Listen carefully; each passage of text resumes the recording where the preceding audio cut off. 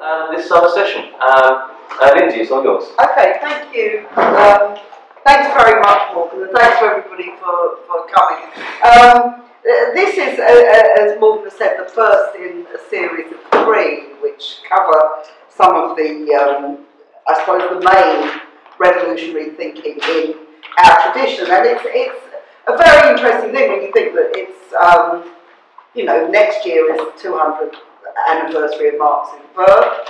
Um, we've been told repeatedly that, uh, that Marxism is dead and that it doesn't have any relevance in the modern world, all these other kind of things. And yet now, we're also told that the Labour Party is about to be taken over by Marxists and we're going to have a Marxist government and that, that everything will be terrible and, and so on. So I think we're seeing a sort of a, a rebirth of interest in the ideas of Karl Marx. Now, what, what I want to do today, and the time I've got, is just a very short um, introduction to some of those ideas and what he actually, uh, the reason that Marx was a, a revolutionary.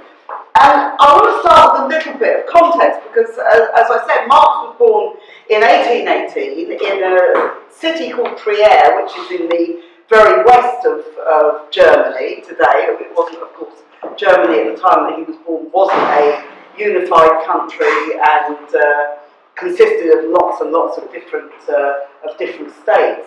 And, um, and, and the, the, area Trier in which he was born was in in it was part of the Rhineland, which itself had been uh, occupied by Napoleon during the Napoleonic Wars, which were um, only a very few years uh, previously to that. It was an area which was known in um, in Germany and in Europe as an area of, of, great liberalism and advanced ideas. And Marx came from a family, he came from a middle class family, his, his father was originally Jewish and uh, became a Christian, but had very liberal ideas. And he was brought up in this kind of household, he was brought up with these, uh, uh, with these sorts of ideas. And uh, the people of the Rhineland, as in many, um, many other parts of Europe, actually benefited a great deal from some of the ideas that they developed as a result of the Napoleonic Wars and of the French Revolution, ideas of equality, and democracy, of,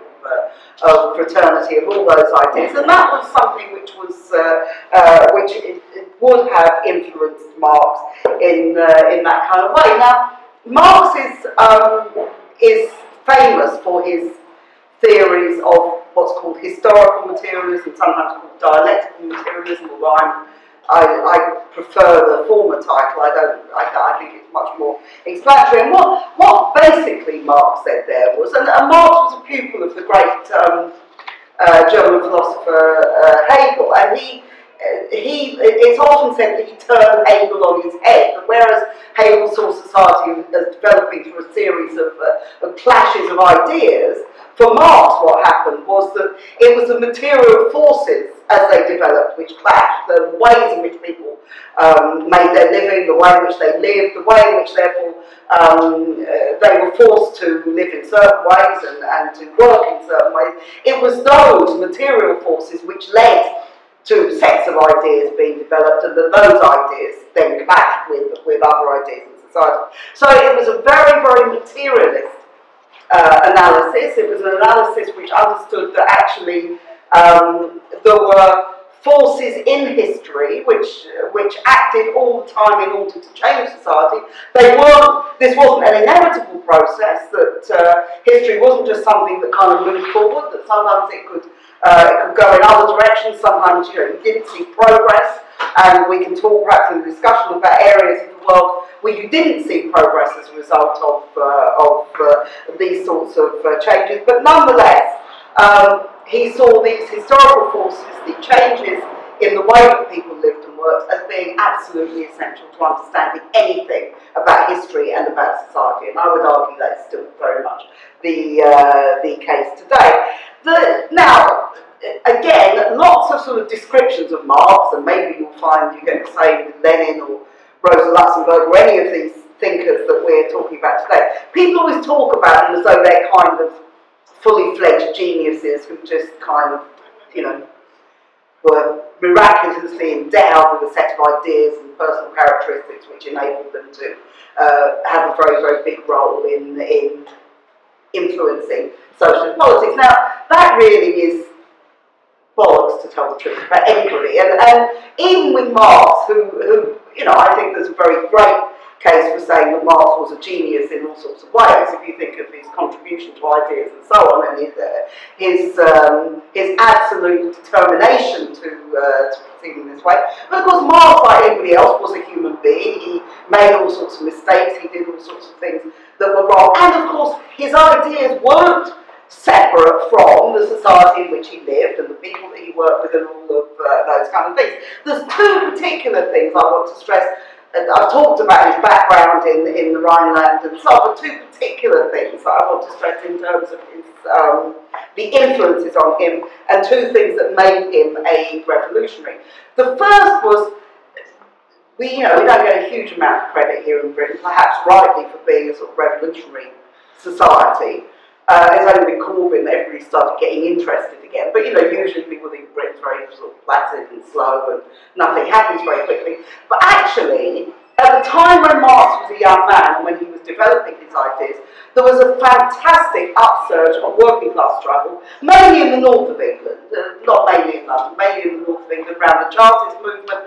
Um, this was uh, paid attention to much more by a man who was to become um, Marx's lifelong friend, who did a fantastic amount for him, for him personally and politically, it was a devoted friend of Marx, Frederick Engels, who was also German, uh, born in the Wuppertal, and who, whose family had a factory in Manchester, a textile factory, which of course was the cradle of the Industrial Revolution and therefore the cradle of the, um, of the British working class. And Engels' first trip to Manchester was actually in 1842, just after what had been a general strike, and probably, I'm not a great expert on, on this, but I think probably the first general strike in history, certainly the first general strike in, uh, in this country, and one which was absolutely um, a sign of the power of the working class. And Engels wrote a very um, well-known book called The Condition of the Working Class in England, not long after this experience, and this was something that he uh, influenced him profoundly.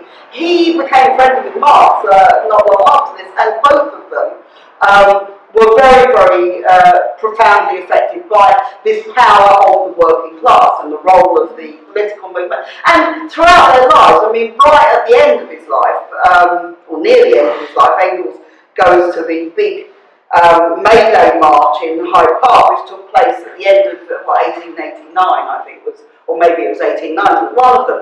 Um, and there was this huge crowd, and it was the rebirth of the working class movement after um, year after the new union struggles, and after years and years of, uh, of it not being a fantastically revolutionary working class. And Engels described it as I saw the grandchildren of the Chartists in Hyde Park who were who were, uh, you know, demonstrating and all this kind of thing. So this was something that stayed with both of them all of their lives and was very, very important to them. The second thing, of course, which influenced them profoundly, and which they were very central to, was the revolutions which broke out in 1848 right across Europe.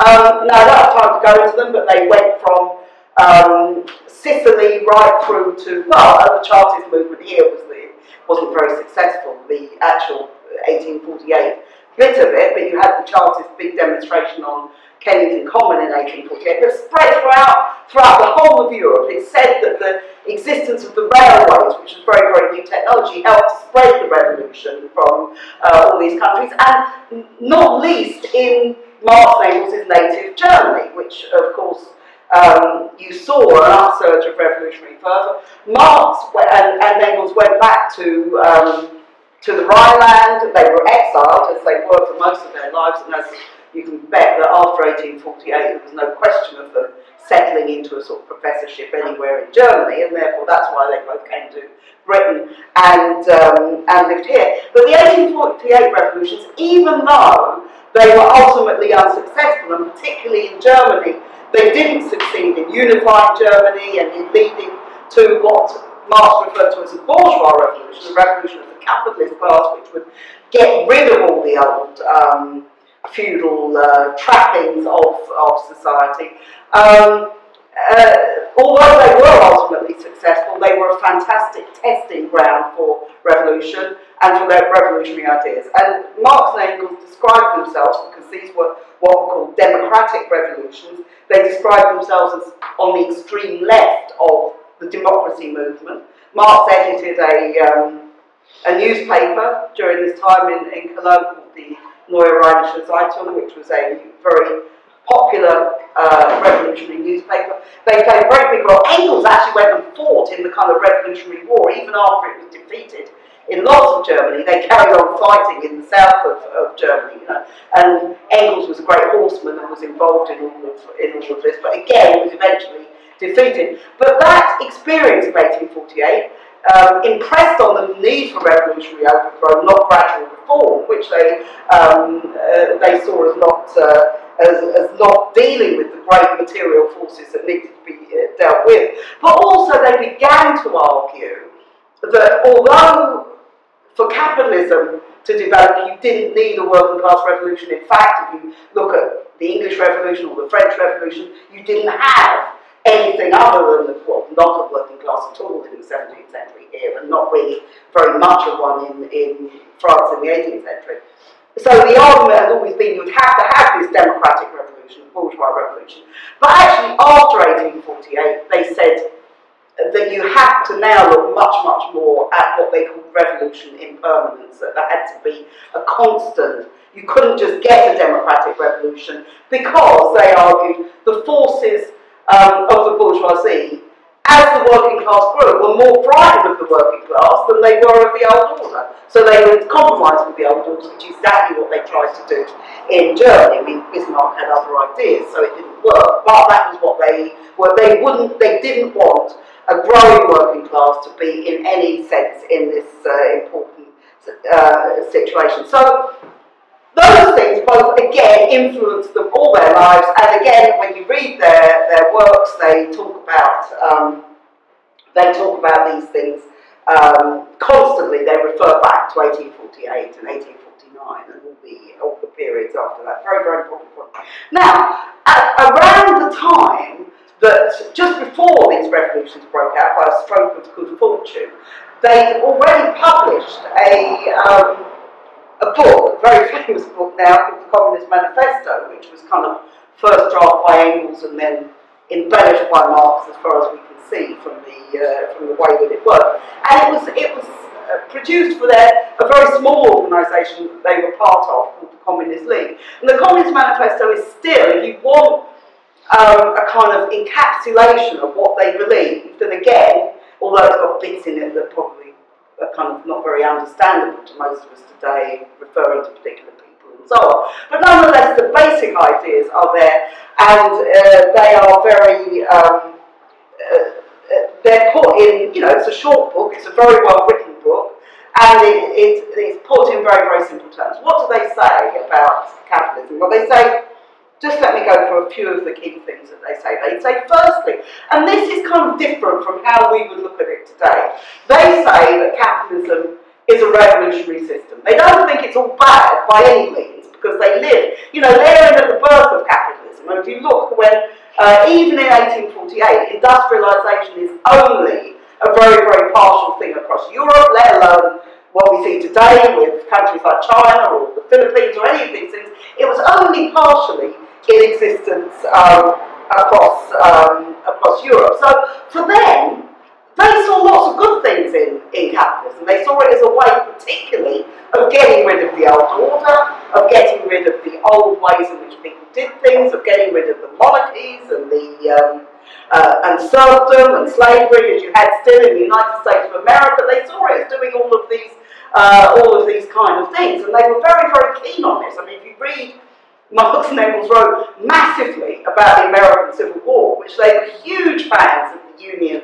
um, side, and, and absolute, you know, detailed critiques of how the various generals were absolute rubbish and couldn't fight their way out of a paper bag, and it was only when you had the Emancipation Proclamation that you began to see things moving, and, and you know, they were very, very, why were they so keen on it? They were so keen on it because they understood that not just would it mean if, if the American Civil War, one that you would get rid of um, the remnants of feudalism, even though it was a new country, but the remnants of feudalism and slavery and, uh, and backwardness, but also it would herald the emergence of a working class and the emergence of democracy. And actually, if you look, the victory of the North in the United States in 1865 did lead to a democratic process, both in England with big deal, the extension of the franchise, but actually it was very much closely linked to that, and of course to the revolutionary movement in in France in 1870 and 1871. So, you know, they, they saw this and they saw this revolutionary system as being, in principle, a good thing because it laid preconditions for a socialist society. That's how they saw it. But, of course, and this is a very, very big but, they also saw it as an exploitative system.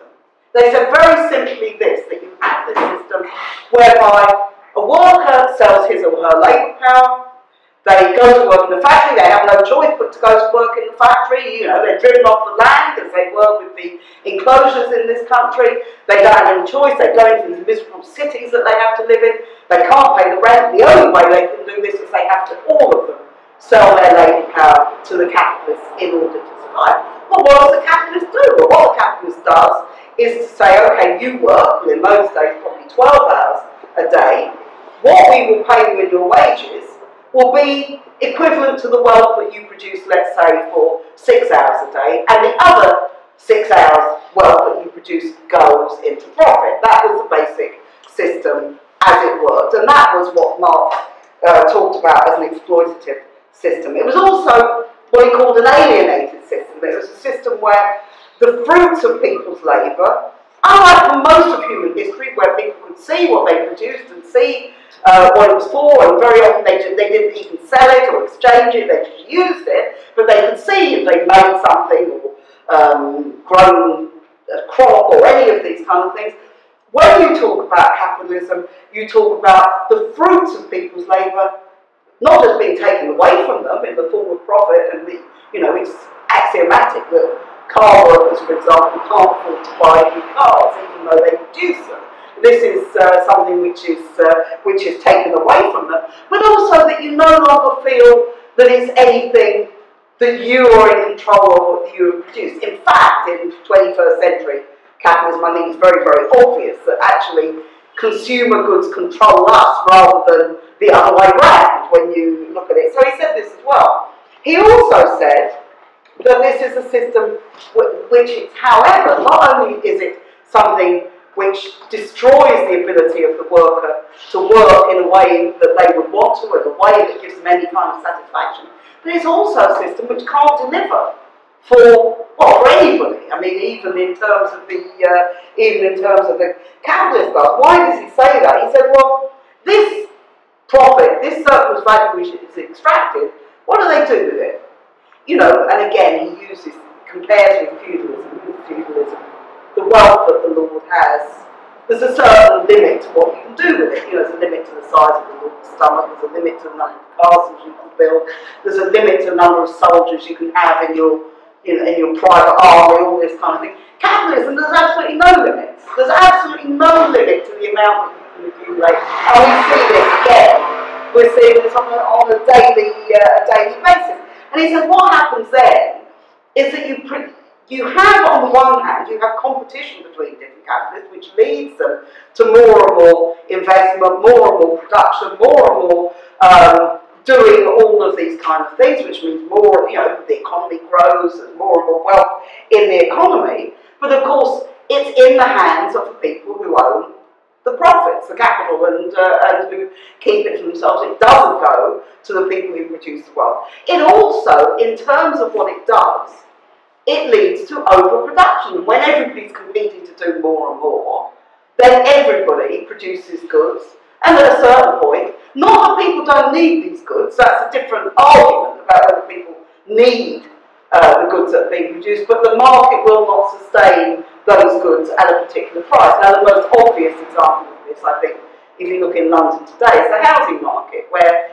there is not a shortage of houses. In fact, you can go around looking at the weekends or at night, you can go around and you see no lights in houses, you see no windows opened in the summer, you see none of this. Why? Because they make a profit for the people who, who build them and who invest in them, but they're far beyond the reach of not just workers actually, they say far beyond the reach of practically anybody to be able to, uh, to buy. So you have this overproduction, which of course then leads to a glut, then leads to a situation where too much is produced, so people are laid off and they're unemployed, and, uh, and all of uh, the consequences that we see with uh, economic, economic crisis in terms of human waste, in terms of financial waste, um, all of those different kind of things. So, what else does he say on this before?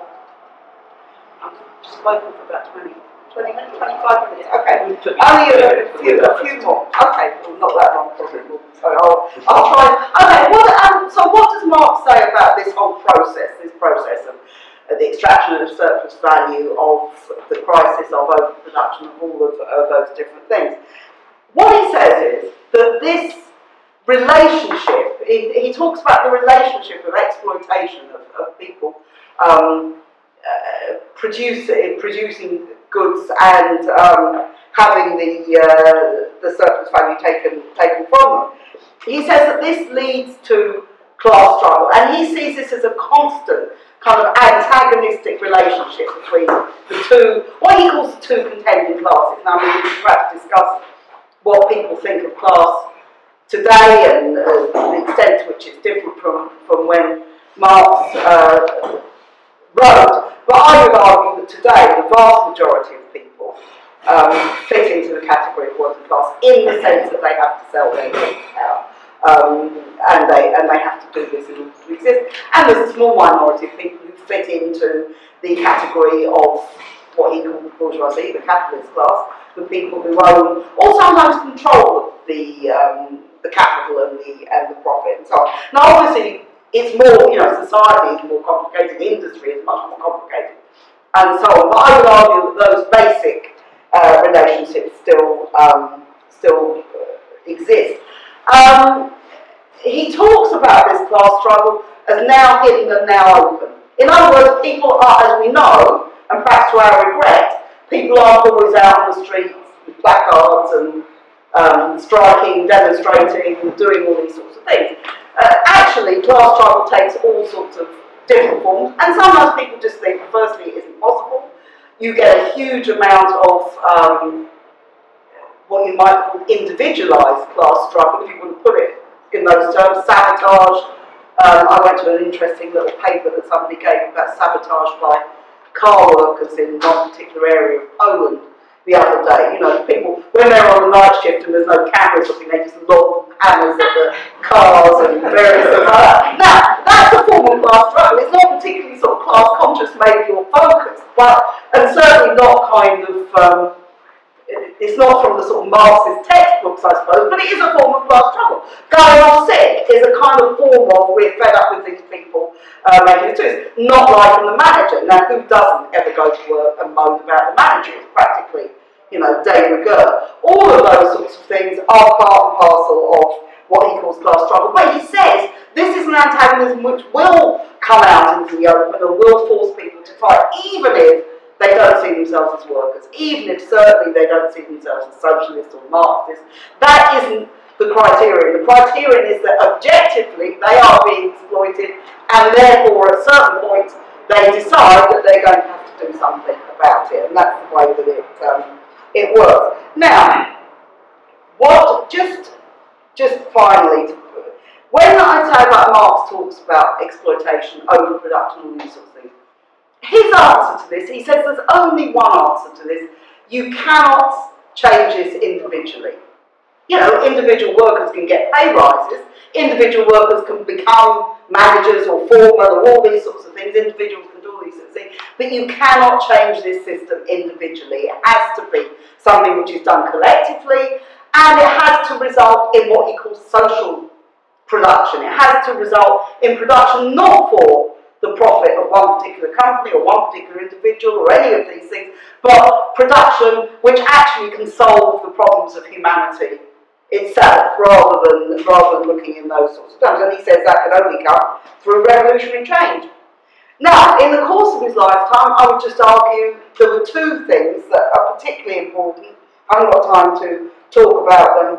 Where I would say he and Engels really quite, in a big way, quite changed their, their, their views. One is I've already referred to, which is the situation after 1848 when the bourgeoisie really ceases to be a revolutionary class and a progressive class, but becomes a much more reactionary and conservative class, and therefore they see the need for the working class, for working class organisation, um, for all of those things. They see that much more clearly after that. The second, of course, is that he sees the role of the state um, in stopping, you know, not just that individual capitalists don't like their wealth being taken away from them, but the role of the state um, the capitalist state being used in order to um, prevent socialist revolution.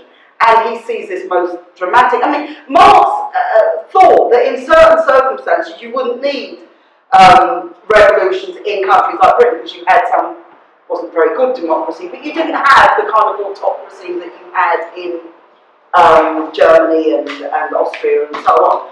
And therefore he thought there could be different ways of getting there. That was all abandoned really after 1871 when the Paris Commune was drowned in blood by precisely the people who uh, were acting on behalf of the capitalist class and who used the state machine, used the army, used all these sorts of things to, um, to overthrow uh, the Paris Commune, which was the first attempt at workers' government, the first real democratic workers' state, I mean, for two months in Paris, but it was a tremendous achievement by the people uh, by the people there. So those two events, I think, particularly led to Marx kind of reassessing uh, what that actually meant in terms of state. Which, of course, next week, again, we'll talk much more about this with Lenin and. You know, with Lenin, if you look at Lenin in 1970, he goes back to Marx and the Paris Commune all the time to look at what we should be doing, how going to do this, all those kind of things. So anyway, that is, let me stop there because that is kind of, you know, my introduction to um, to the ideas of Marx. Obviously, it's a very, very sketchy introduction in terms of all sorts of things. So hopefully, people will bring up all sorts of different questions in the discussion.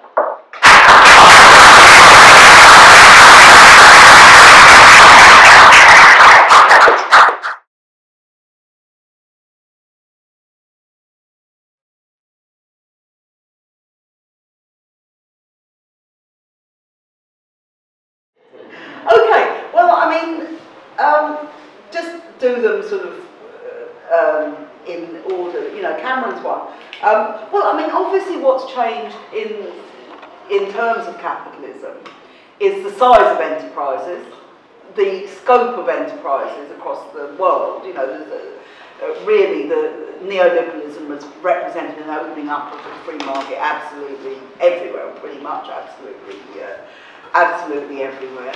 Um, and, you know, and with it, a, a sort of an ideology that there is no alternative, which we got for a, for a long, long time. Now, I think the scope and the size of the enterprises isn't something which is generally necessarily bad for socialists, because actually, famously, if you look at even in 1917, for example, the, the size of the Russian factories was so immense that they reckoned this was one reason that people were able to organise in, in uh, Petrograd, um, in Putilov and, and those sorts of things. That actually, it gave them a big audience, if you like. And, and you could argue this about the spread of capital to different countries, you know, that you now have um, whatever the, the downsides of that, and there have been many, many downsides for people in, in working people in all the countries concerned in terms of either losing jobs in countries like Britain or having to go into jobs in countries like, say, in Eastern Europe for worse wages and worse conditions than, than they've had.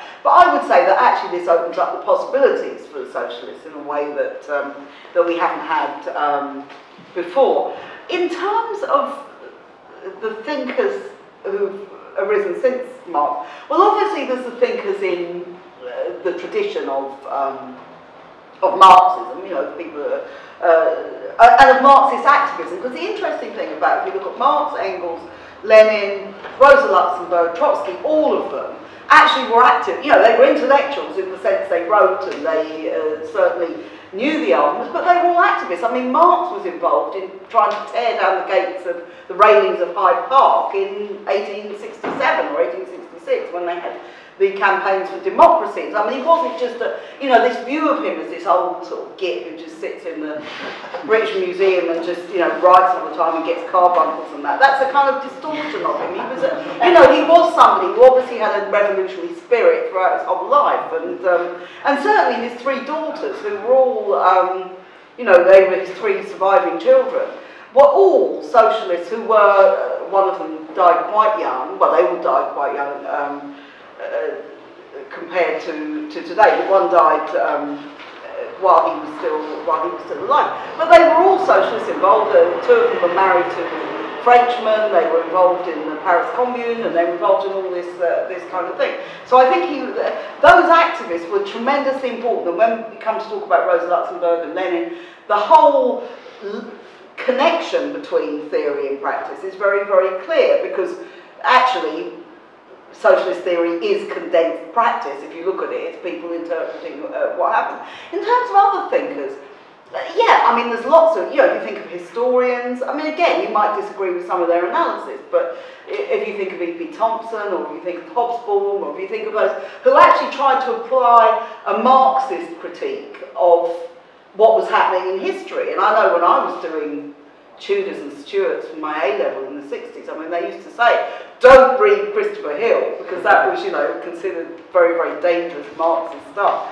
Um, but they're very important. Obviously, there's been economists, there still are economists like David Harvey, who I guess would consider themselves um, uh, Marxists, but in all areas of, of uh, cultural studies, of um, uh, literature, of all these things, you, you, there's a, you know, there, there's a science. I mean, if you look what the Russian Revolution did, it produced lots of ideas around science, around psychology, around all sorts of things, which are, which are still regarded very, very seriously today, even though obviously there's been lots of thinking since then.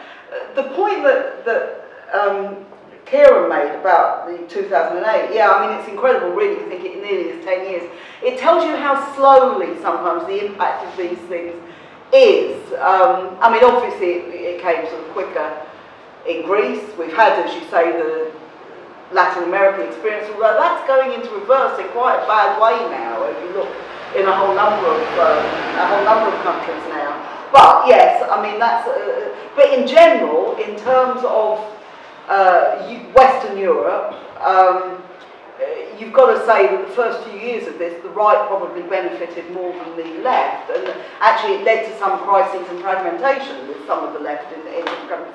I think that's beginning to change Certainly here, I mean, here we're in a good situation. I mean, as I said at the beginning, we don't, you know, we're always sort of the usual British sort of grumbling and so on. But it's, um, you know, it's an incredible situation we're now in, a very open situation where you've got an extremely weak government and where you've got Jeremy Corbyn, I think, extremely likely to be the next Prime Minister, which is not sentence I ever thought I'd say you know, a few years ago, you know, or even leader of the Labour Party. So, I mean, and that's opened up a lot of ideas about people. You hear people talking about politics much more.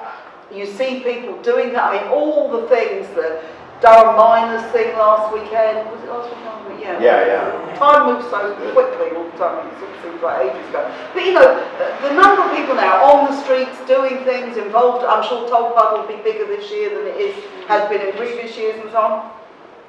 You know, you've got this political radicalisation. Now, then the question, which kind of leads on to Isabel's question, really, is okay, what does this mean?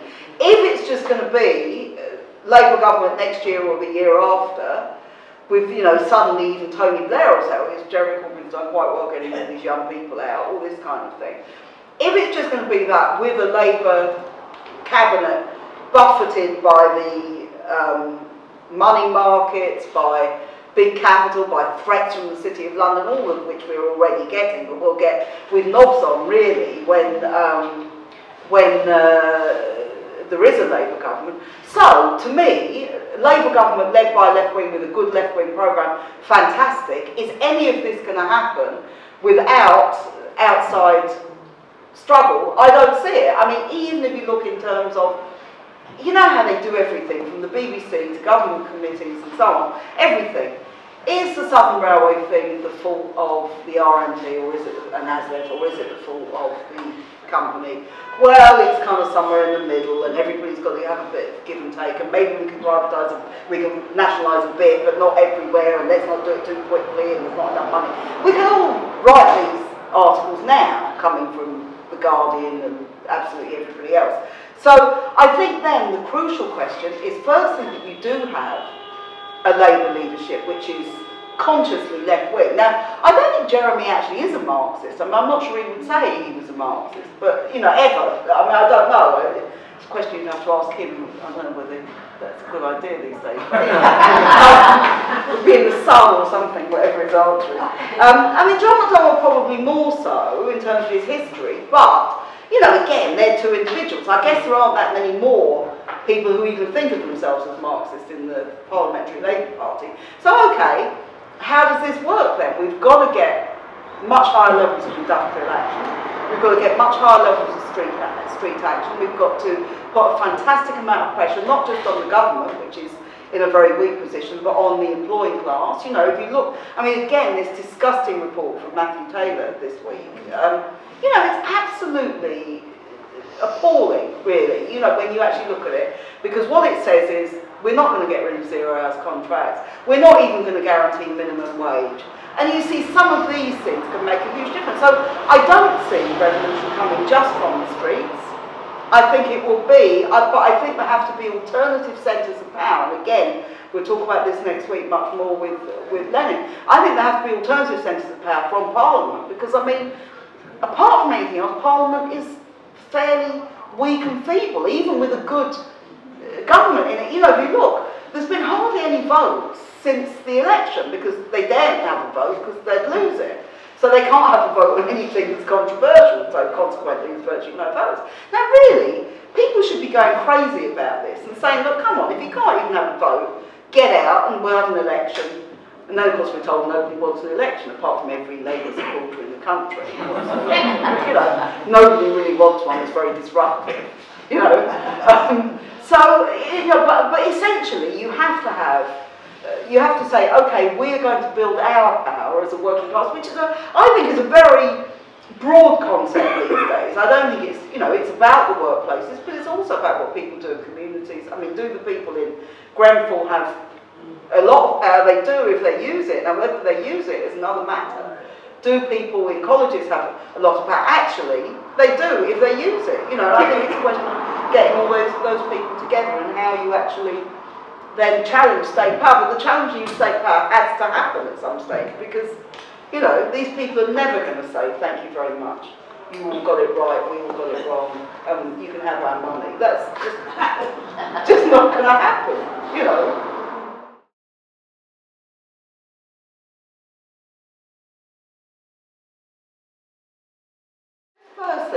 Class and how the class system works.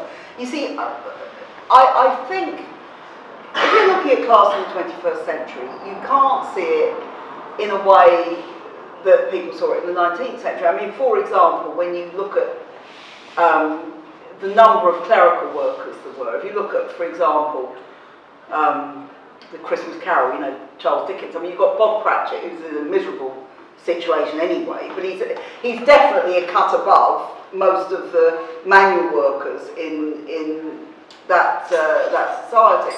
Um, and that was generally the case for clerical workers. Right into the, the late 19th century, maybe the 20th century, they generally seen as slightly, not that they weren't workers, but they had they got more benefits in terms of the kind of wages that they got. Now, I think if you look in the last century, you have to say that white collar workers, what we call white collar workers, clerical workers, people who work in, in shops, people who work in offices, all of those sorts of things. I think you have to include the vast majority of them as part of the working class. So therefore, to me, a bank worker would be part of the working class. And interestingly, if you look at what's for example, bank workers, uh, before the First World War, no woman was allowed to be a bank clerk at all. It had to be all men. It was very, very respectable kind of job, and again would have been paid enough so that those people could live in a sort of respectable, probably still a terraced house, but you know, respectable house in Woolwich or wherever, you know, um, that kind of thing. Now, if you look today at bank workers, you see a totally different situation. You see a huge number of women working in them, you see the ethnic uh, minorities working in them. That's not to say all women are workers or all ethnic minorities are, but actually the vast majority are, if you look at um, yeah, certainly in British, uh, in British society. So I think there's been that kind of change. And to me, you have to see the working class as defined not by what whether it wears overalls or not, not whether it works in the factory, because far fewer people do, but whether or not it is having to sell its labour power, in which case it becomes part of the working class. Now, there are some exceptions to this when you go higher up the managerial chain. I mean, I would say a lot of managers essentially fit into the working class. I mean, if you were a lower manager in Sainsbury's, you get, you know, I don't know, you still probably only on the average wage or only slightly above it. And right, you're, you're telling 10 people what to do, but you are subject to exploitation by the top managers, exactly the same as, um, as the people who work on the checkout. So I think it makes sense to incorporate those people in it, and certainly lots of unions, um, both in terms of things like journalism and the media, or in things like higher education, and in, um, in schools, you find that actually people in managerial positions are by and large, they're in managerial positions where still they, were they are exploited rather than them sharing in the surplus value of the But obviously, the higher up you go the chain, then that, that does begin to uh, that does begin to change.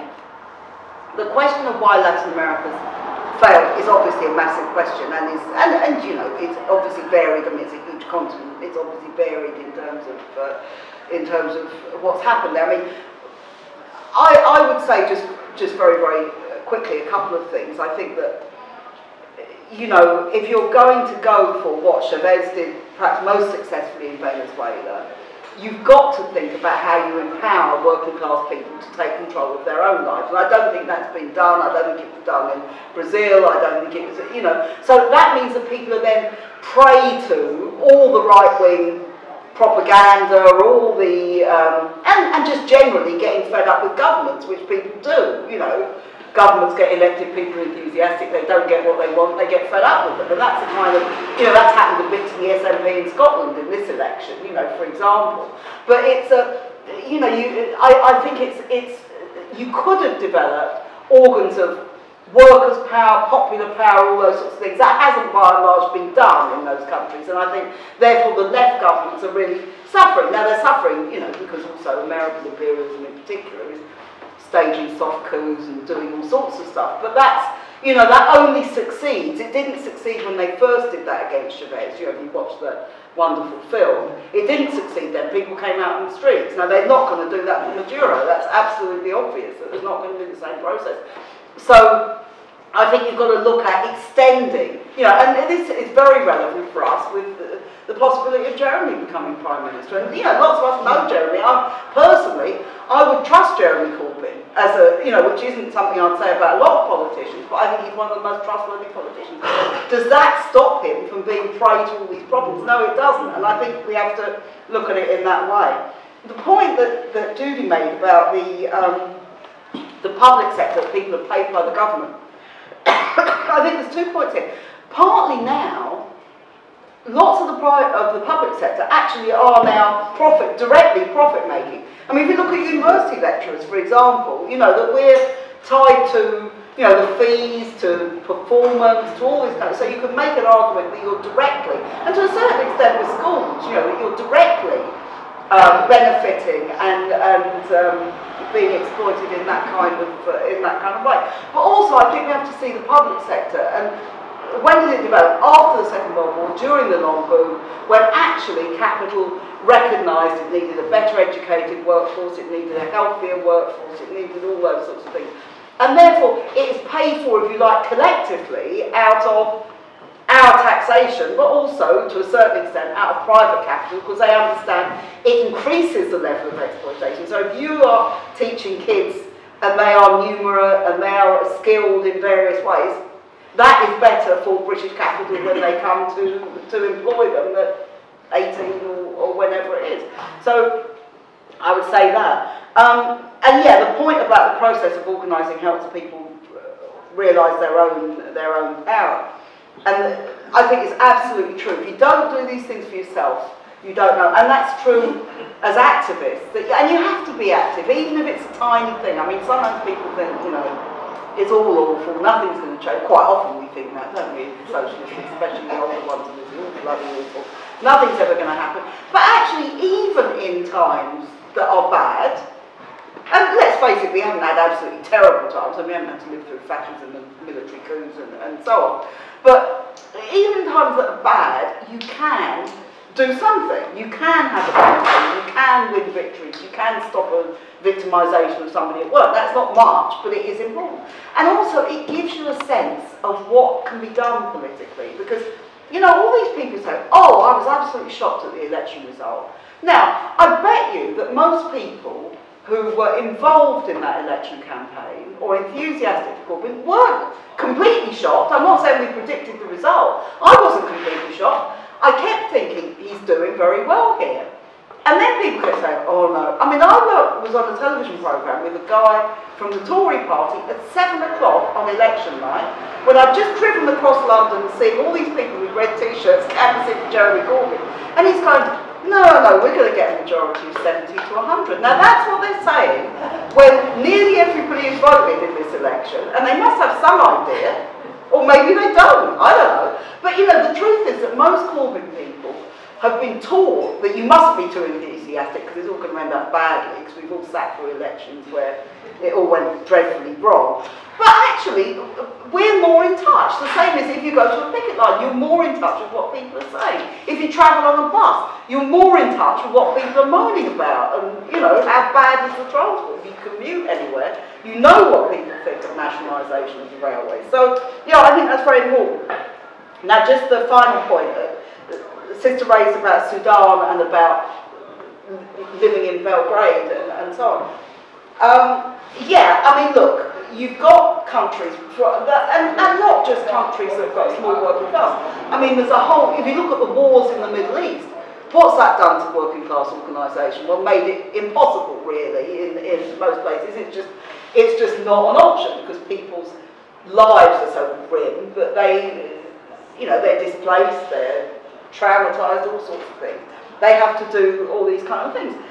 And so therefore it's a question, okay, then, when we're looking at can we do things in Sudan? Yes, of course we can. I'm sure lots of people do do things, but it's not centred on the industrial struggle uh, and so on. But can we also then say, okay, have we got international solidarity, which links up? Because that's very important in places where people are particularly badly affected by those things.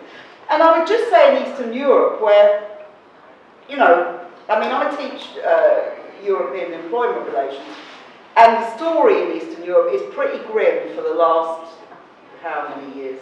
25, 30 years, you know. I mean, war in, in Belgrade, obviously, but even where people haven't had that, driving down of living standards, destruction of a lot of what people have. Now, I it seems to me, from the story in Belgrade and other things that you hear, there's still the possibility of more wars in that region, it seems to me. But there's also, there are lots of things now coming through. There's an article in the Financial Times, actually, the other day, saying they're very, very, they're having to pay huge wage increases to people in Slovakia in car factories because they haven't got the skills, because all the Slovakians have emigrated, or lots of them have emigrated because they couldn't get wages. Now and they invested in Slovakia because they only paid them half what they pay German workers, or a third of what they pay German workers. And suddenly people are beginning to fight back. So I think even in the most surprising places, you get new generations that come through and they begin to think, well, okay, let's give it a go. What have we got to lose? And I think we're seeing this movement now in lots and lots of countries, which will develop in different ways in different countries for all sorts of reasons. But I think it's very, very encouraging, you know.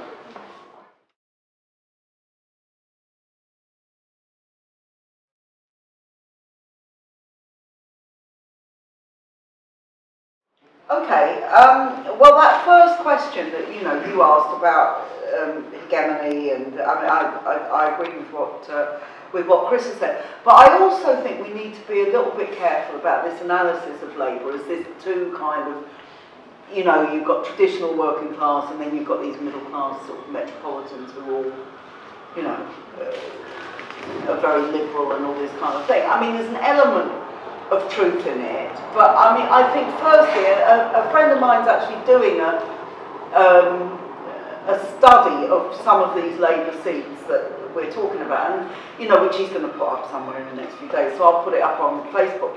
But he said that he thinks this is massively over exaggerated. That a lot of people still, I mean, there's all sorts of complex reasons why people don't vote anyway. I mean, it's weird when you actually, you know, it's not, it, you'd think it was very rational and logical and people spend ages thinking about it, but actually they don't. And sometimes they do things for all sorts of odd reasons and vote in a particular way for all sorts of things. But anyway, he was saying that he thinks it's very much over exaggerated. There's five people on the right of the Labour Party who want to say this is all about immigration, and not just immigration, but about trying immigration, wars, Jeremy Corbyn not singing the national anthem, all of it, you know, that, that sort of general sort of patriotic sort of approach to politics. And actually, if you look at it, if you look at the seats that Labour lost in um, in this last election, which was I think five, in Middlesbrough, Derbyshire North, um, Walsall, um, I can't remember the other two, but anyway, um, one of the Stoke seats they lost, didn't they? I mean, these are all areas that people talk about, you know, don't have big universities, don't have big migrant populations, quite old populations, quite high UKIP votes. So, of course, there's an element of, of truth in this. But there's all sorts of other elements. And then you look at some of the seats they won, like they won in Crewe, which is pretty similar. They won in Derby North, which is pretty similar. So, you know, there's a subjective element as well, which I think we need to look at. And it also uh, kind of, I mean, you know, we live in London. We think of London as multicultural as it is and non-racist, but that isn't actually true. We know there's a lot of racism in London, if we're honest. We know these these attacks that have been going on, at least some of them are obviously racially motivated, these um, acid attacks and so on. Um, so, you know, uh, so, and there's plenty of racists in London. I mean, you know, so, so I think we've got to look at a more, um, we've got to say it's possible to win people. It's clear to me it wasn't mainly, if you look at actually YouGov did a poll on this this week, I think 13% said they voted Labour because of Jeremy Corbyn. 28% said they voted Labour because of the manifesto. And I think above everything, if you're saying to people, and this will be true in Middlesbrough, it'll be true in Stoke, it'll be true in these people, can you say to them they're going to have a council house or their children will have a council house or somewhere decent to live that doesn't cost them very much? Can you say that their children will have a job? Can you give them a decent health service? I think whatever their attitudes towards the military or towards, you know, even towards immigration, uh, you would see a different attitude and they would be pushed to the left. Even with immigration, it's generally accepted that there's a hard core of racism in this country, which is a kind of between 15 to 20% of the population, which strikes me as about right when you think of your own experience with these sorts of things. But actually, most other people, when they talk about immigration, what they mean is immigration and I'm fed up because I can't get a doctor's appointment or I'm fed up because my child can't get their first place at school. And these are all big issues. I mean, they're big issues everywhere, actually. If you talk to people, you know, who are, who are using these services everywhere, they're what people talk, to, talk about. And so I think it's a question of saying that hegemony, can you begin to break down whatever the cultural insecurity is connected with material insecurity? Can you break that down? Can you say, and when people have, you know, usually most people I'm not saying there aren't exceptions. These are people who go off and join the EDL and all this kind of thing. But you know, most people, when they're kind of okay, they don't think, who am I going to kick? They don't think, what am I going to do that's really awful? They start thinking about, you know, how they can make their society better. So I, I think it's important to see it in this, um, this context. Now, the question about revolution in permanence, the, uh, Hal Draper in his book, I think it must be, I don't think if you, if you want to read more about Marxism, he's very, very good. His commentaries, there's several volumes of them. I think it's the one on the state where he talks about this, which is the first volume. But Hal Draper, who was an American Marxist, writes very well on this, that actually by the end of the 1848 revolution, both Marx and Engels are saying, look, what was happening was the working class and the poor were getting too strong in the revolutionary process. And the bourgeoisie was so useless in Germany, which it was, so feeble and divided. I mean, Marx uses the example of one of the parliaments that is set up during 1848. I can't remember if it's in Frankfurt or in Berlin, but he says it's like a star that's already, the light from this parliament is like the light from a star that's already died.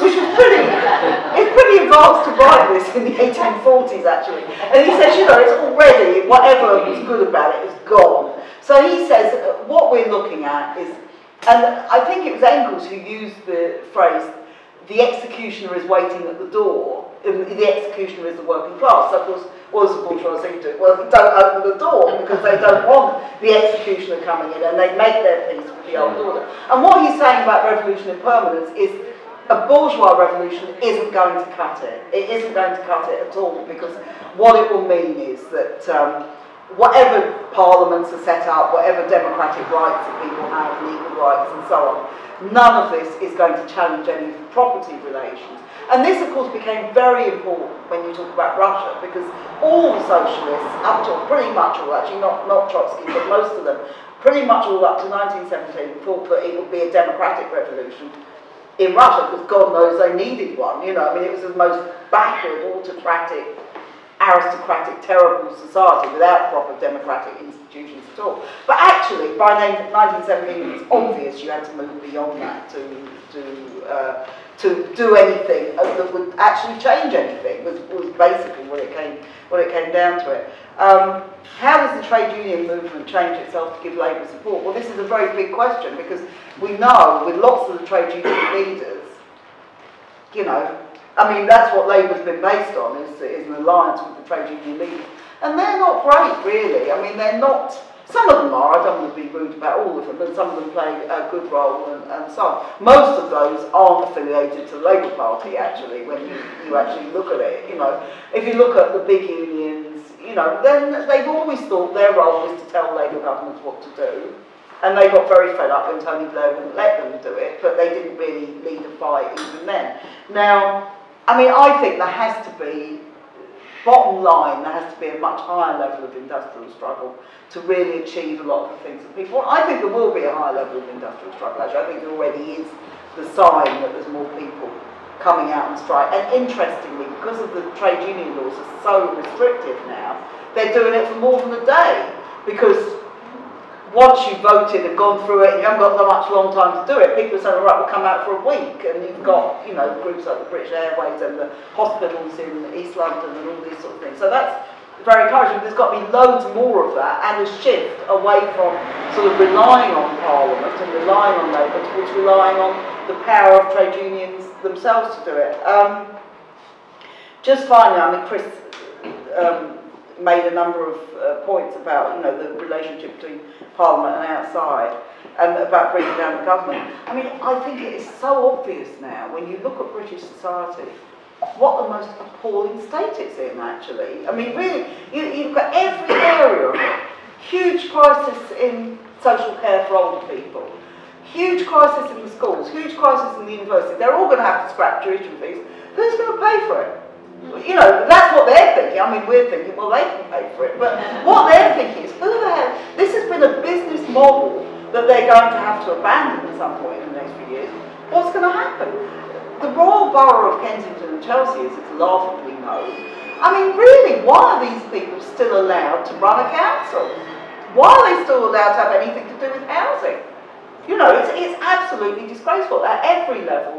Uh, you know, you see the rich and powerful not only protected by the system, but unable to deliver very, very basic things that people need. And in that situation, you know, again, we'll move on to talk about Lenin next week, you know, that's when the era of revolution opens up. When you, when the old order can't, you know, when the ruling class can no longer rule and the working class can't live in the old way, then, and that's what's happening really, and it's happening very acutely in this country. You know, you're, you're seeing it in a way that you you don't see. Well, I'm not saying there's not big crises in other countries, but I think it's very acute in Britain at the moment, and that is um, a big opportunity for the left.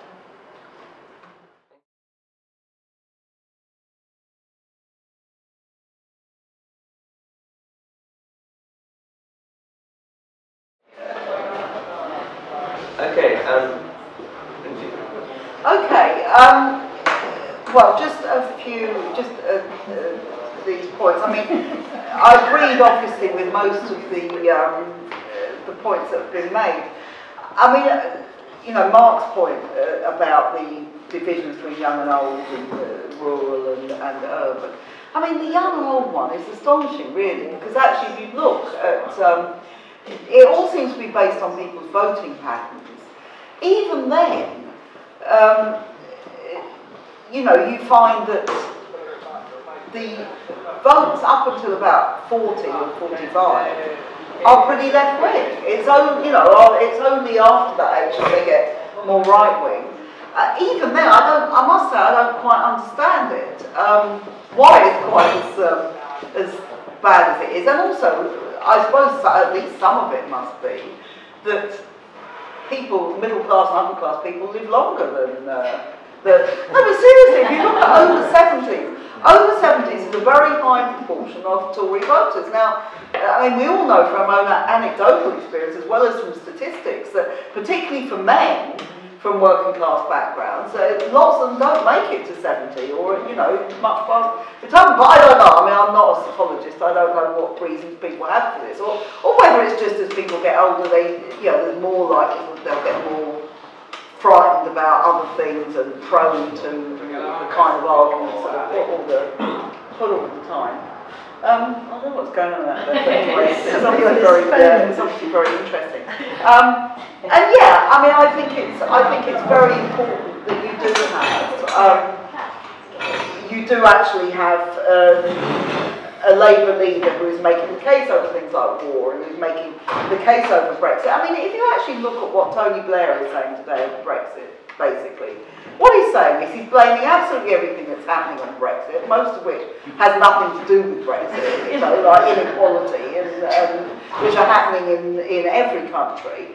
Um, and even, you know, low productivity. Well, how long has that been going on in Britain? And low investment. Well, neither of these are a product of the last year at all. So you've got him doing this. But essentially what they want to do is say, people made the wrong decision, they've got to change their minds. And they will keep on at this and they will try and get their way over this, there's no question. That's what they've set up a new cross-party group, which is, um, you know, right-wing Chuka Umunna, Labour, and uh, Anna Soubry, who's supposedly left-wing Tory, whatever that's supposed to mean.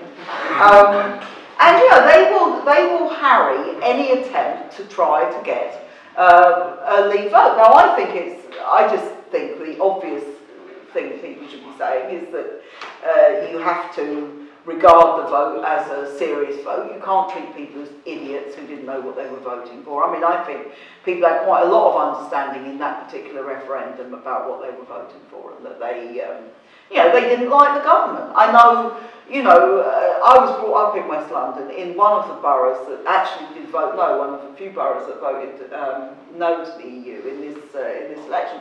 And it's very interesting when you talk to people there because a lot of it is they don't like politicians and people who they regard as, you know, they've got low educational achievement, it's one of those areas, right, as they delightfully call it.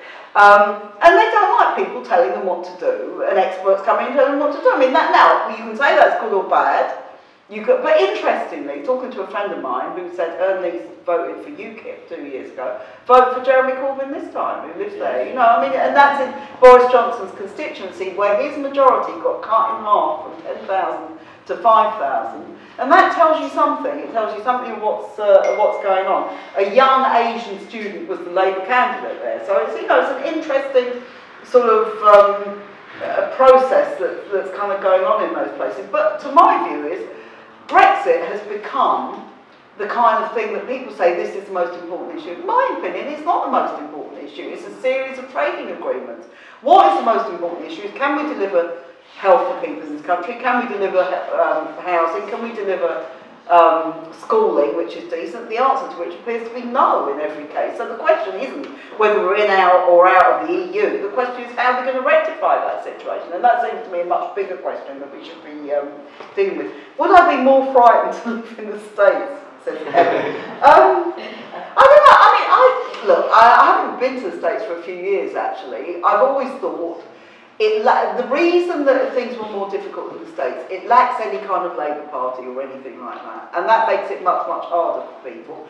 And the trade unions are, I don't know if they are that much weaker than the trade unions here now. They're probably a bit, but, but not massively. At the same time, I think Americans have got a much healthier attitude towards democracy in general, and they're less you know, they're less likely to put up with some of the rubbish we put up with over here, like the House of Lords, for example. So, you know, it kind of cuts, it cuts in different sorts of ways. I think the big problem is, I mean, not just that Trump got elected, but why did Trump get elected? Because the alternative was Hillary Clinton. Well, I, I mean, I could not have gone across the road to vote for Hillary Clinton. I wouldn't have voted for Trump, obviously. But I would not vote for her under any circumstances because what is the advantage of it? She takes you. She would have gone into wars quicker than Trump's done. For I mean, not for reasons of principle, but she would have done. Um, she absolutely thinks it's all about, you know, it's all about allowing the sort of liberal wing of the capitalist class to do exactly what want. She gets millions from Wall Street and elsewhere, so people didn't like it. Now, there was an alternative, which was Sanders, and Sanders did very, very well.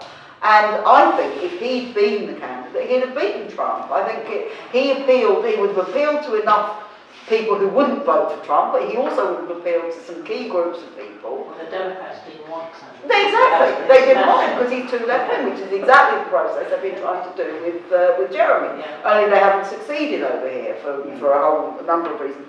So no, and, and I think there, the American working class this isn't a good situation with Trump, whether Trump can last, and, you know. But the American working class historically has a very good record of coming from nowhere and having these huge strike waves and campaigns and the movements in the 60s and all those sorts of things. And those people are still there, you know. That kind of idea is still there. So I think that's what we have to, you know, we have to put our hope in. But I mean, I agree. I think it's very, very difficult in terms of having Donald Trump as your president. I mean, can you imagine? Really, it must be, you know, that's not. Um, and just finally, I mean, Dragan raised the question about Trident and Jeremy Corbyn's compromise. I mean, to me, the whole manifesto was good, except on foreign policy and defence, where it was rubbish, really. It wasn't good at all. You know, all right, they don't sort of say we're going to go into another war, but it's not good on any of these issues. And that's obviously not something that Jeremy thinks himself personally, but it is something that the majority of Labour has come to accept. And of course, the manifesto becomes policy, good and bad bits of it. Now, it already was, well, it, it's tendentious, isn't it, whether it was Trident policy to renew Trident, but let's assume that it was. But that is definitely now going to be the case. So, no, it seems to me with all these things, this is why you need the Stop the War Coalition, it's why you need CND, it's why you need People's Assembly, it's why you need all these sorts of things, because, uh, you know, relying on this, and there will be more of these compromises, if he becomes Prime Minister, there'll be a massive number of compromises that he'll be expected to make. I mean, it's bad enough he has to go and meet the King of Spain and all the other things that are a total waste of his time already. And, uh, you know, you can only think how much worse all, that, all of that side of it will get. And the way in which the British ruling class is so clever at co-opting people.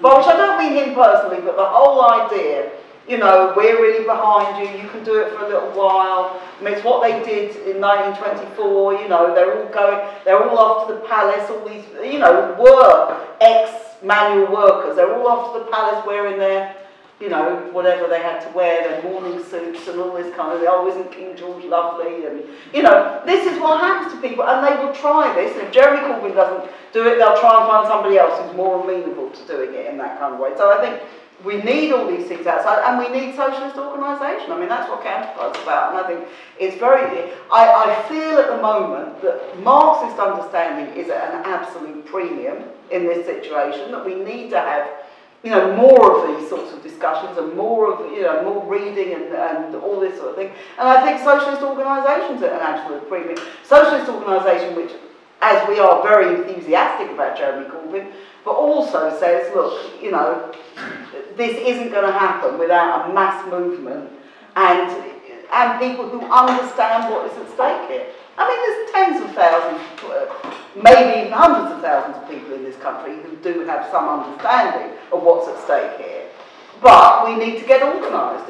You know, we're now, you know, the train has left the station and we can't muck about anymore, really, is what I would say. So that's my thoughts on it.